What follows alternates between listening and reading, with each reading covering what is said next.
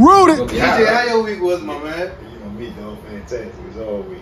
Always good? Yeah, I just had some racism just happen. That's it? Yeah, What? that's it. At uh, Corbin's just now. No, Yo, man. y'all ever been a waiter at, at anything? Uh, cook Yeah, Waffle House. Cool. What Uh, would waiter. you do Oh, if uh, at Waffle House. Yeah. I thought the white they person cook asked the you food.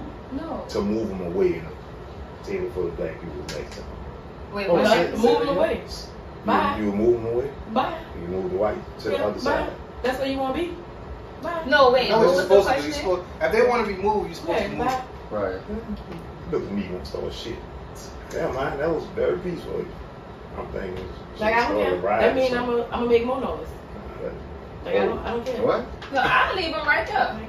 Hmm? Yeah. What you think? But What you can't- think, you- Dad? But you're have to- supposed Nah, to you gotta, move. You're supposed to move. If they all. you to move. In Waffle House, you choose where the fuck you sit. So if you choose to sit right there, you're gonna stay your stupid ass right there. Shit. Yeah.